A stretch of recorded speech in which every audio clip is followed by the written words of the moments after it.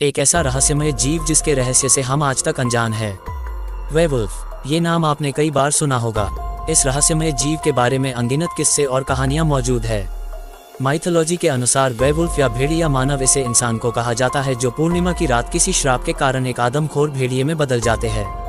ऐसा माना जाता है कि जब कोई वेवुल्फ एक इंसान को काट लेता है तो वो इंसान भी एक वेवुल्फ बन जाता है। सदियों से इस जीव को देखे जाने की घटना सामने आती रही है, पर साल 2014 में इन कहानियों को तब सच होते देखा गया जब बल्जेरिया के एक किसान को उसके खेत में एक रहस्यमय बक्सा मिला।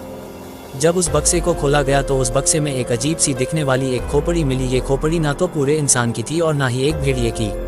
सवाल यह है कि अगर ये खोपड़ी किसी इंसान की होती तो इसे बक्से में रखकर ज़मीन में गाड़ने की क्या ज़रूरत थी?